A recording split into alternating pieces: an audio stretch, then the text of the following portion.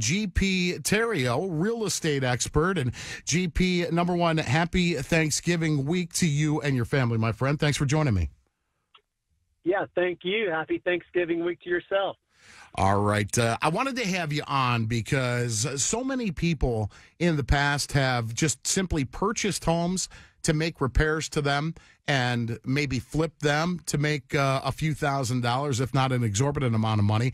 And many people just buying homes um, for future investments. Apparently, there's been an exorbitant fall or a precipitous fall rather in those types of purchases. Uh, tell us what's going on. How I, guess how stagnant is it right now? And obviously, um, the high rates are causing this. Correct? Yeah, I mean, we're seeing these interest rates on investor. You know, when we say investor homes, those are people like you said buying, you know, long term, holding it, renting it out as a cash flow you know, property where they're making some type of net income on that property. Well, it's a numbers game. Right now, these rates, you know, the Fannie Mae and Freddie Mac, they're they're pretty much trying to price it out where they're not attractive uh, to uh, these investors. I mean, these rates right now, I mean, they're literally over eight percent. But on top of that, you're almost having to pay two points, which you're you're having to pay for the rate on top of it. So it's just it it's it doesn't make sense for these investors right now. The smart ones, they're just sitting on the sideline, hoping that these rates will come down if they're wanting a loan. I mean, your best option is either buy it cash or a lot of times a private money. But these you know private monies were usually higher, but they're almost in the same ballpark as a standard mortgage going through a bank for an investment property home. GP, say like four or five months ago, what if I wanted to get a 30 year fixed on a $200,000 home? What would it cost me monthly?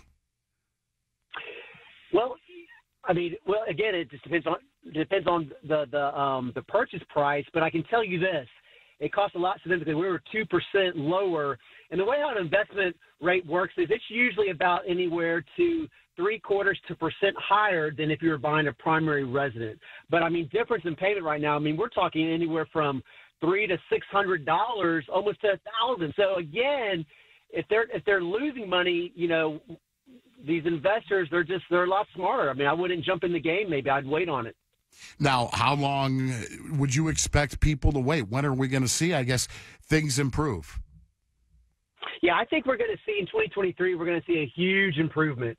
I think you know the inflation is it's just there's there's got to be it's got to give right, and you know these economists that I'm following, they're saying that uh, we could see it as fast as in six months where rates could start coming down. And when I say rates coming down, we could see in the fives again for a primary residence, which means then we're going to see investment rates probably back in the sixes again. So I definitely think you know, there's there's a light at at the end of this, a good light, meaning that uh, I think it could happen a lot faster than what we think.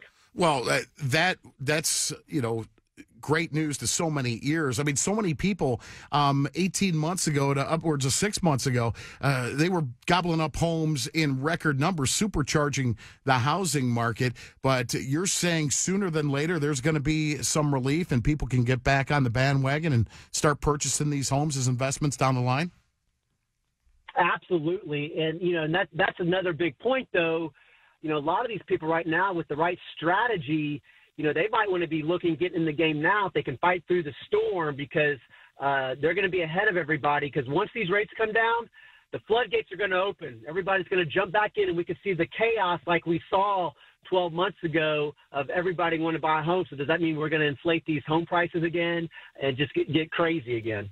So you think uh, home prices are going to go through the roof on what six, eight months down the road? I think you could see, uh, you know, possibly over asking price again, or, or people going in aggressively because I mean, there it's a mentality. When you hear rates in five percent compared to over seven percent, I mean, people think now's the time to buy, so let's jump back in again. So you know, if, if you're considering buying, now is the time to get in to be ahead of everyone else. I, I can't stress that enough right now. Plus, you've got a lot more leverage because these sellers have been kind of panicking with these homes sitting a lot longer on the market. So you've got a whole lot more negotiating power where you can have these sellers buy your rate down. So that's a big strategy we're using right now. Don't go in and lowball it. Have them pay twenty, thirty thousand to to buy the rate down so your payment's much lower. So that's a huge strategy that's working. GP, I look back to when I bought my first house, and it was in 1997, and it was at uh, it was seven and a quarter, and it was fixed. And literally over the next four years, I think I refied twice. Is that something you think uh, is going on right now? Oh, we're going to see that for sure in 2023. That's why you, you're hearing a lot of these temporary buy down rates where you, you can buy your rate down 2% or have the seller buy it down for you. And it's just a temporary, it's locked in for 12 months or no more than 24 months. Because if, if I was a gambling man going to Vegas, I would bet that we're going to have a refi boom in less than 24 months. Again, we could see it in this coming year for sure in 2023. GP Theriot, real estate expert. GP, again, thanks so much for joining me today, pal. And you have a tremendous Thanksgiving with you and yours. All right, my man? Thank you.